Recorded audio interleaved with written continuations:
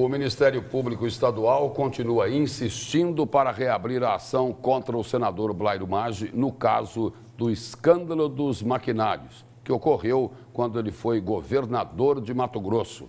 O nome do programa era 100% equipado. Pedro Taques, então candidato ao Senado, acrescentou que era 20% roubado.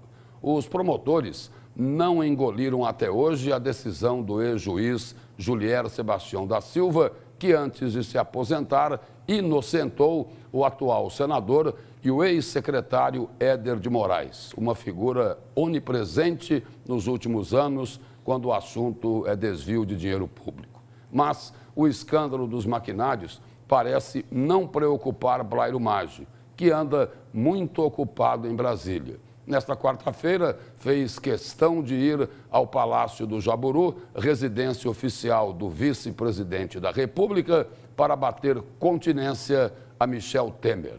O homem que diz ter se cansado de ser peça decorativa, não quer ser mais um vaso e agora assume a pose de salvador da pátria.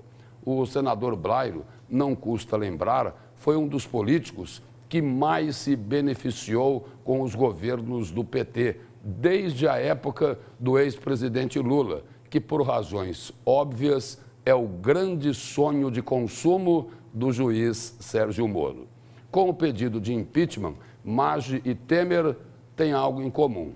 Depois que se empanturraram numa mesa farta, os dois decidiram pular do barco, que está afundando.